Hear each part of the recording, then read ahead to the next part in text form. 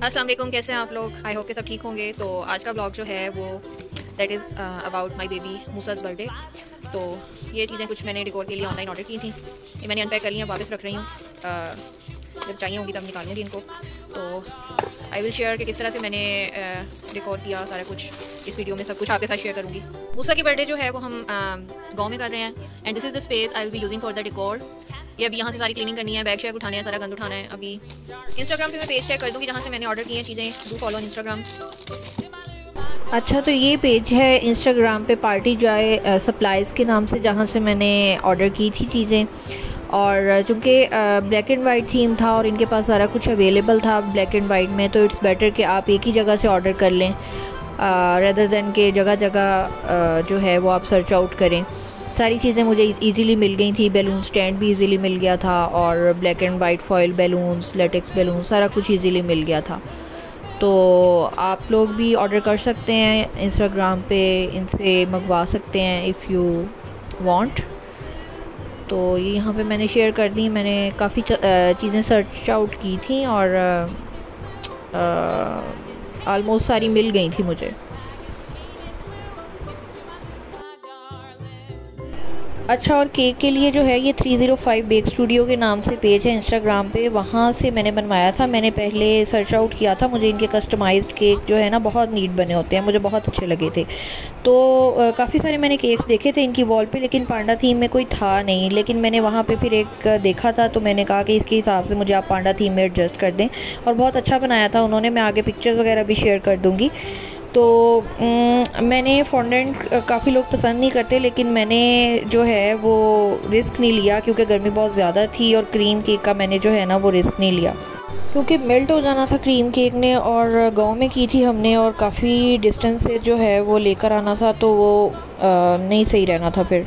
अच्छा कॉस्ट जो है मुझे दोनों चीज़ों की तकरीबन अलेवन थाउज़ेंड पड़ गई थी क्योंकि फोर्टी फाइव हंड्रेड का केक था और सिक्सटी फाइव हंड्रेड की ये डिकोर आइटम्स वगैरह थी।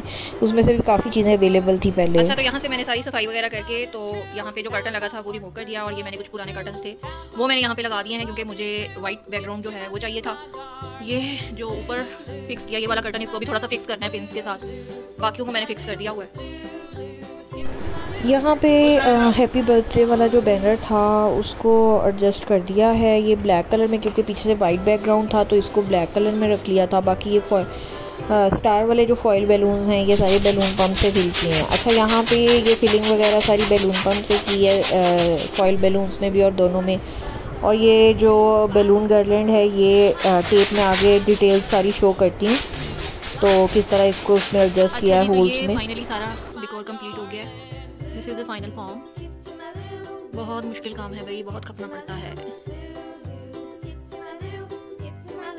अब मैं थोड़ी सी डिटेल्स जो है ना वो शेयर कर देती हूँ। लाइक ये जो फॉइल बैलून्स थे पांडा बैलून है ये भी फॉइल बैलून है और ये पाँच का पैक था जिसमें एक ये था और बाकी ये दोनों जो थे सिर्फ़ फेसेस थे। बाकी ये हैप्पी बर्थडे वाला बैनर था और ये वाला जो है ये बैलून वाली जो टेप मिलती है आ, कुछ ये इस ये यूज़ करके बैलून जो है ये सारे इसमें एडजस्ट हुए और बाकी जो है ये वाले जो हैं, ये वाइट और ब्लैक सिंपल जो फॉइल बैलून होते हैं यूज़ किए बॉल वाला काम सारा कंप्लीट हो गया बस आगे टेबल सेट करना बाकी है। अच्छा तो टेबल के लिए जो है ना वो मैंने यहाँ पे आयरन स्टैंड यूज़ किया क्योंकि वहाँ पे मेरे पास कोई भी इतना हाइट का टेबल नहीं था जिस पे खड़े होकर केक कट किया जा सके। तो इसको कवर करने के लिए मैंने मुझे एक वाइट कलर की शीट चाहिए थी तो मैंने ये एक कर्टन था उसके साथ इसको सारे को कवर किया है यहाँ से। क्योंकि शीट भी मेरे पास वहाँ पे कोई नहीं थी और उसको ऊपर से भी जो है ये मैंने एक वाइट अच्छा जो तो है वो बिछा दी है। स्टैंड जो है ना, ये रख दिया है। ये कुछ इस तरह का बैलून स्टैंड है। इसमें बैलून ये एडजस्ट कर दिए हैं और बाकी पीछे का बैकग्राउंड मैंने पहले दिखा दिया था। अब ये कैंडल्स हैं, ये ब्लैक एंड वाइट थीम में नहीं है, लेकिन मैंने कहा चलो खैर, ये वाली जो है ना, ये कैंडल्स यूज़ करूँगी और ये केक टॉपर है अच्छा तो मैंने ये केक की क्लियर पिक्चर यहाँ पर शो कर दी है और इंस्टा पे जो बेक स्टूडियो वालों ने लगाई थी, वो भी मैंने लगा दी है। Okay ji this was all for today's video अगर आपको अच्छी लगे तो मुझे कमेंट्स में ज़रूर बताइएगा और अगर कोई चीज़ रह गई है तो वो आप कमेंट्स में पूछ लीजिएगा। अगर वीडियो अच्छी लगी है तो चैनल को सब्सक्राइब कर लें और लाइक कर लें। एक मैंने केक कटिंग की वीडियो डाली है एंड पे।